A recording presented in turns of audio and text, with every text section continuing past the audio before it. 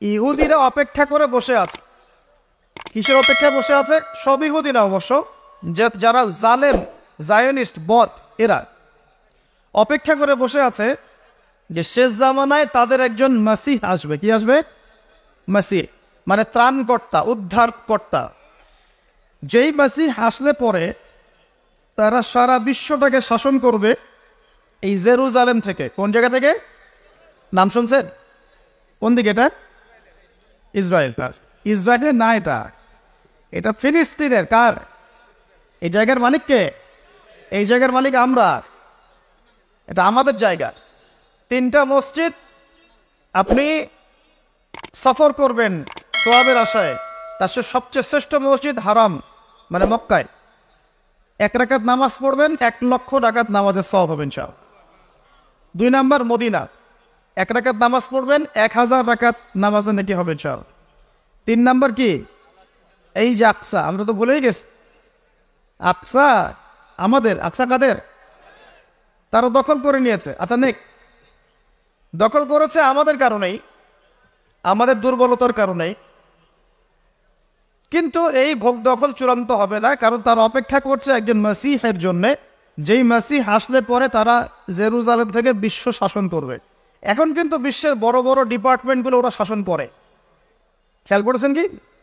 আপনি যে প্রযুক্তি ব্যবহার করেন, এগুলোর চাবিকাঠি ওদের হাতে।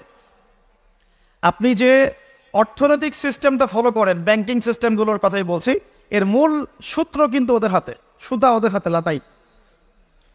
ইভেন আমরা যে পলিটিক্যাল সিস্টেমগুলো ফলো করি না, এগুলোর তন্ত্রমন্ত্র ওরাই দিয়েছে। যে মিডিয়াগুলো আছে বিশ্বে বড় বড় সব কিছু ওদের হাতে। ফাইন্যান্স বলে ফাইন্যান্স মানে বাণিজ্য ট্রেড এগুলো ওদের হাতে। বিশ্বের বড় বড় সেক্টরগুলো ওরা শাসন করছে, এটা সত্য। আরেকটা মারাত্মক কথা হচ্ছে, বিশ্বকে শাসন করতে হলে কিছু অস্ত্র লাগে। কি লাগে? অস্ত্র শস্ত্র ছাড়া হবে না। একটা দেশের সাথে একটা দেশের মনে করেন, খারাপ সম্পর্ক। এখন একটা দেশের কাছে আছে দাকুরাল, আরেকটার কাছে আছে পারমাণবিক অস্ত্র। কে জিতবে? যার কাছে যত ভারী অস্ত্র আছে শক্তিশালী, তার দাপট তত বেশি।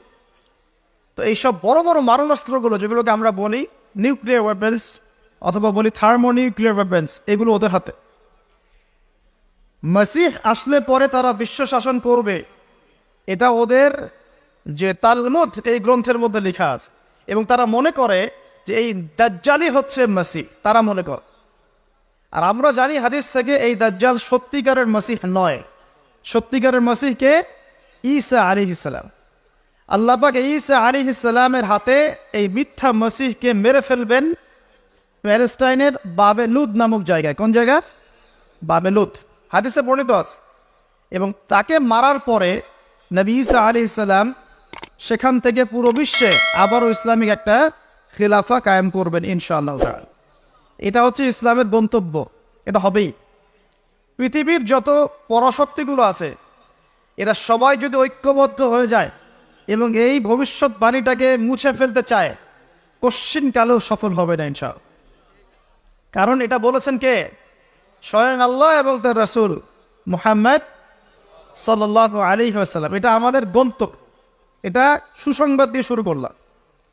ইসলাম দিয়ে পৃথিবী শুরু হয়েছে, নবী দিয়ে সভ্যতা শুরু হয়েছে ইসলাম দিয়েই পৃথিবী শেষ হবে, নবী দিয়েই সভ্যতা শেষ হবে চাল শুরু হয়েছে আদম আলী ইসলামকে দিয়ে, এবং শেষ হবে ইনশাআল্লাহ তালা নবী ইসা আলী ইসলামকে দিয়ে। এই কথাটা মাথায় রাখবেন। এখন আল্লাপাক আমাদেরকে বলছেন, হে মমিনরা, তোমরা আল্লাহকে ভয় কর। ইমানদার কারা, বোঝাতে গিয়ে হারিসে জিবরিলে আসছি। জিব্রাহিল আল ইসলাম এসেছেন, জিজ্ঞাসা করছেন ইসলাম কাকে বলে? নবীজি বলছেন, আগে ক্যানিমা তারপরে সলাৎ তো সলাতের কথা বলতে গিয়ে ওখানে চলে গিয়েছিলাম। আমরা যদি ইসলামের বিজয় দেখতে চাই, তাহলে সবাইকে পাঁচক্ত নামাজ পড়তে হবে। রাজি আছেন তো? আজকে থেকে পাঁচক্ত নামাজ ছাড়বেন? স্পেশালি যুবক ভাই যারা আছো, তোমাদের তারুণ্য আছে, রক্তের উদ্যম আছে, তোমরা চাইলে অনেক কিছুই করতে পারো। অনেক বার্ধক্যে উপনীত হওয়া মানুষ নামাজ পড়তে চায় কিন্তু পড়তে পারে না। তরুণদের কাছে আল্লাপাক সুযোগ দিয়েছেন।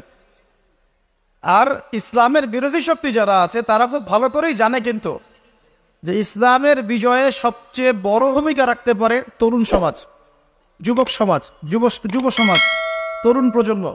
এ কারণেই তো দেখবেন তরুণ প্রজন্মকে তাদের উদ্দেশ্য থেকে সরিয়ে দেওয়ার জন্যে তারা আপনার সামনে অনেকগুলো টোপ দিয়ে দিয়েছে।